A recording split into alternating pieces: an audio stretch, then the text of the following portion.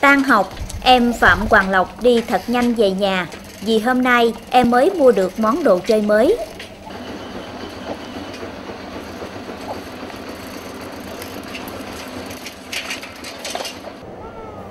Ở nông thôn, mỗi ngày đi học chỉ được vài ngàn đồng. Do đó, Hoàng Lộc phải nhịn ăn quà giặt hơn 10 bữa mới đủ tiền mua con diều này. Con để dành tiền mua 35 ngàn Tại vì Khả, Khả về cùng mấy bạn vui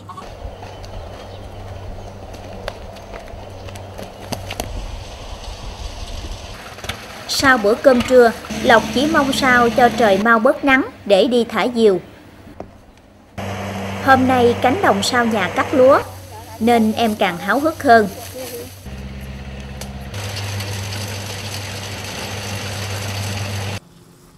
Thả diều một mình không vui, Lộc rủ thêm nhóm bạn chung xóm lại chơi cùng.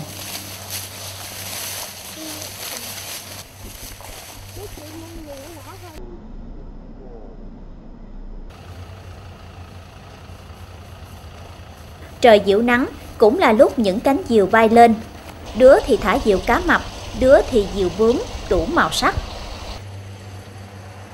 Miếng ruộng của chú ba hôm nay không chỉ có tiếng máy gặt đập liên hợp mà còn xen lẫn thêm tiếng cười của những em nhỏ chơi thả diều.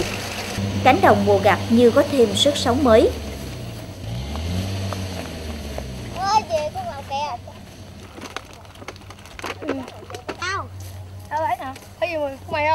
Những ngày tháng 2, tháng 3 diều gió nên diều bay cao hơn. Chơi thả diều cũng có cái khó riêng của nó. Các em phải chăm chú vào con diều của mình, để mỗi khi có gió mạnh thì phải giật nhẹ sợi dây cho diều giữ lại thăng bằng.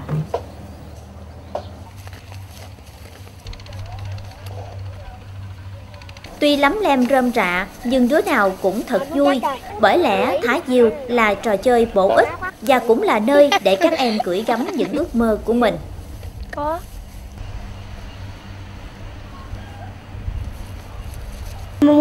mong mong cho à, cả nhà ấm no. Hạnh phúc. Ngày cắt lúa này thì thường con thích chơi trò gì nhất? dạ hả diều. Tại hả diều vui? Khi lúc mà cắt lúa con thích chơi thả diều. Tại sao? thả diều. Gặp mấy anh chị mấy anh chị thả diều bay cao. À thì thì con đi thả diều lúc 4 giờ.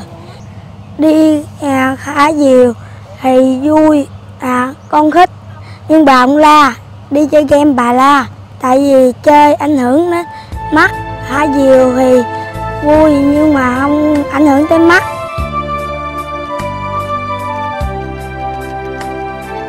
bay phút lên trên những triền đê, sau những cánh đồng mùa gặt hay những công viên nơi đô thành phố thị.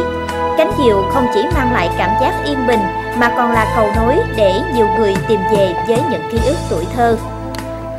Đây cũng là cách người lớn duy trì những trò chơi dân gian mang chất truyền thống của quê hương, xứ sở cho thế hệ mai sau.